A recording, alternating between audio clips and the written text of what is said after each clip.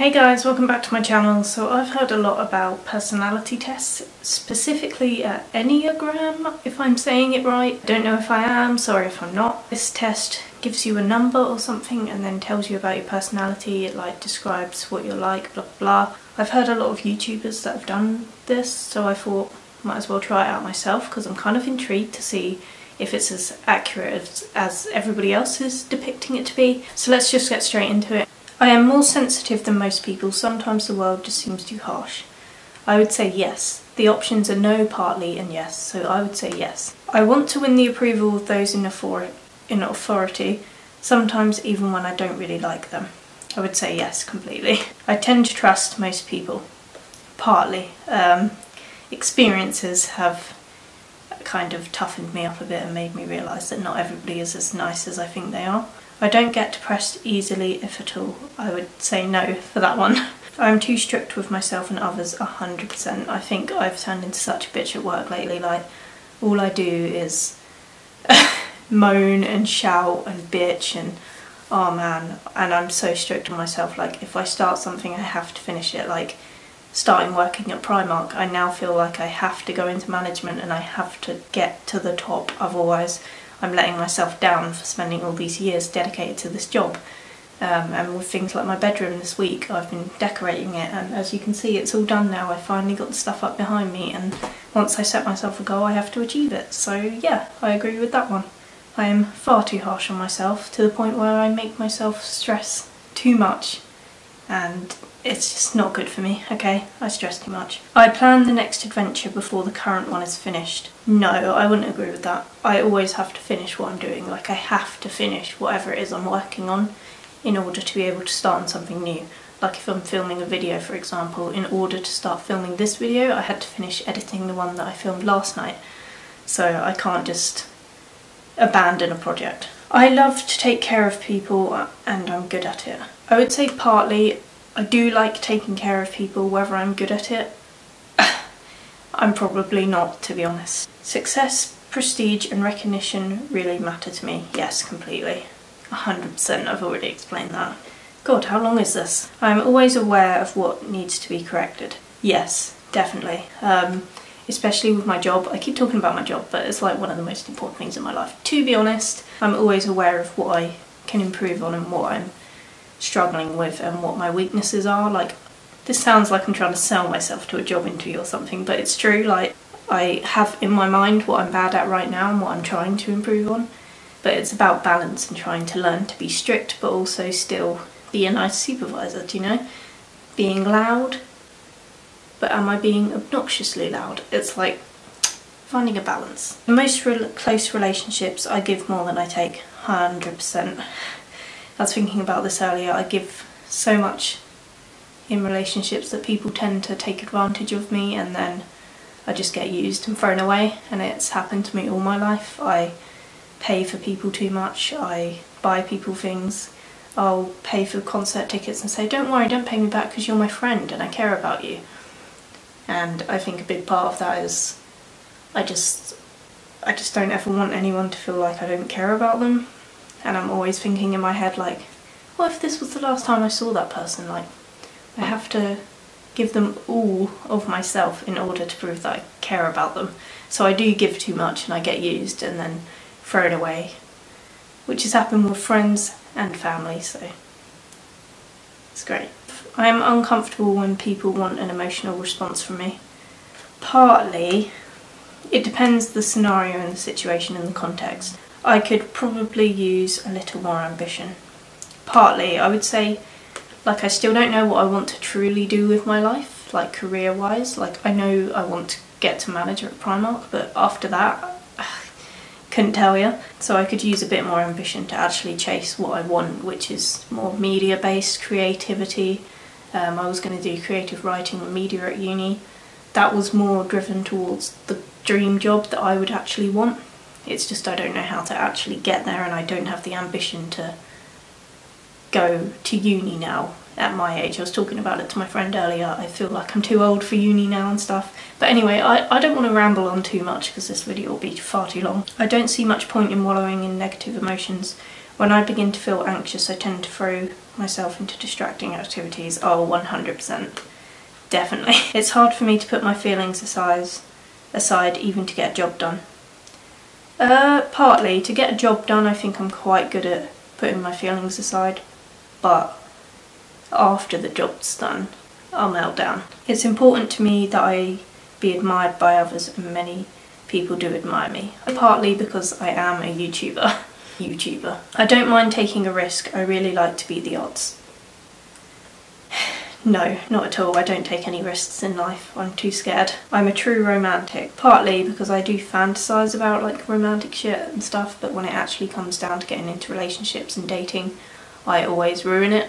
Or like on purpose, I self-sabotage because I'm just I'm like, oh, I'm not ready, or oh, they don't like me back. I self sabotage a lot in that respect, but I am a romantic, so I'll just put partly.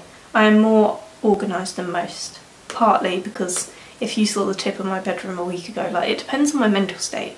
I'm either very, very organised or the complete opposite end of the scale. Like, it's very hard.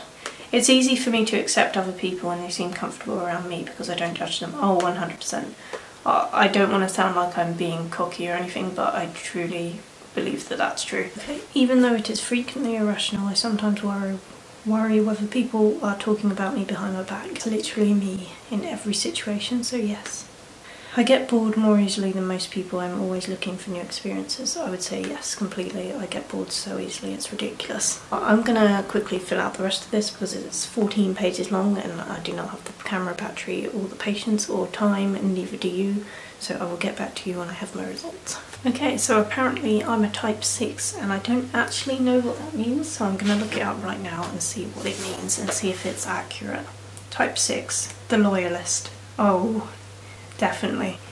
I am a Hufflepuff. Conflicted between trust and distrust.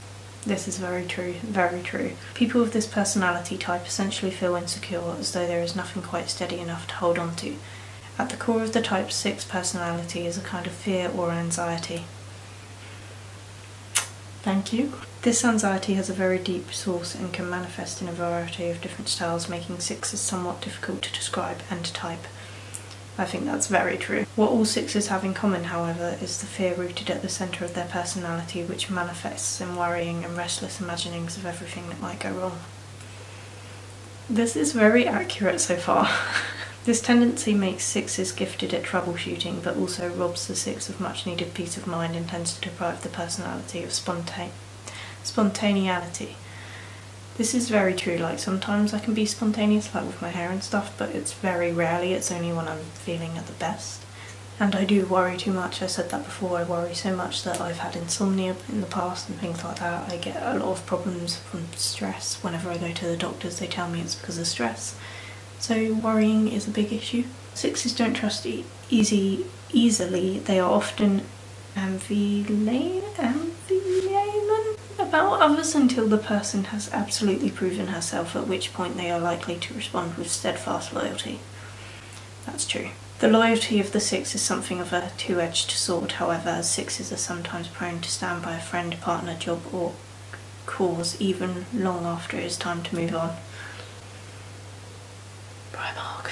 That's so true, like I should have moved on from Primark years ago and I won't because I just want to like once I start something I have to finish it and I'm loyal to Primark now. Like I truly am. Like I just want to keep being there even though at the back of my mind I'm always thinking everyone else has moved on so I should move on too.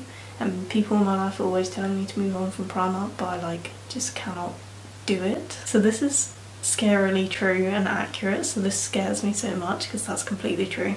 Sixes are genuinely looking for something or someone to believe in this, combined with their general suspiciousness, gives rise to a complicated relationship to authority. The side of the six is looking for something to believe in, is often, is often very suspect, susceptible to the temptation to turn authority over to an external source, whether it be the form of an individual or a creed. But the six's tendency towards distrust, distrust and suspicion works against any sort of faith and authority. Thus, two opposite poles exist side by side in the personality of type 6 and assume different proportions in different individuals, sometimes alter alternating within the same individual.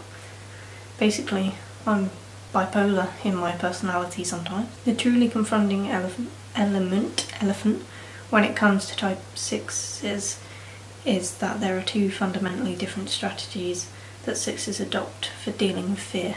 Some sixes are basically phobic. Phobic sixes are genuinely compliant and cooperative. Other sixes adopt the opposite stra strategy of dealing with fear and become counterphobic, essentially taking a defiant stand against whatever they find threatening. This is the six who takes an, on an authority or adopts a daredevil attitude towards physical, physical danger. That's definitely not me, like, no. Counterphobic sixes can be aggressive and, rather than looking for authorities, can adopt a rebellious or anti-authoritarian demeanour. I mean, that's sometimes true in some stages of my life, I guess. Uh, counterphobic sixes are often unaware of the fear that motivates their actions. In fact, sixes in general tend to be blind to the extent of their own anxiety. Mm, I wouldn't say I'm blind to my anxiety, I'd say I'm pretty aware of it. because it is a constant backdrop to all their emotions, sixes are frequently unaware of its existence as they have nothing with which to contrast it. I guess I was unaware of it for years until like a couple of years ago, so does that count? Because sixes are so frequently fail to appreciate the extent of their own fear, they often mistype themselves. Sixes tend to be practical. I would say that's true. Finally, counterphobic six, sixes can easily mistype as eights, but they lack the eight's self-certainty. Okay, I don't have much else to say, that's completely true. There are very little things in that that I don't agree with, like, damn. I thought this was all going to be bullshit because I've seen loads of YouTubers like Dodie Clark and, um, what's the other one? Tessa Violet and other people talking about the Enneagram and they like take it super seriously and they're like, I'm this type and I'm this type but this actually sounds like me completely, so now I know what I am, so if anybody ever asks me and brings it up in conversation, I know I'm a type 6, and then people can put me in a box where they can fit my personality and figure me out, I guess, even though on here it's saying I could identify as a lot of others. Or misidentify, I, I don't even know. I love the anxiety and worry was the main, the main points. But anyway, that thing about staying in a job too long really hit me hard. if you enjoyed this, you can like, comment, and subscribe. Oh, you can't see it. Oh damn. You can turn on your notifications because I make new videos every Thursday and Sunday. I'll leave a link to the Enneagram test. I don't even know if I'm saying it right. That I took and you can see what type you are because I think it's quite interesting. That's it. Bye.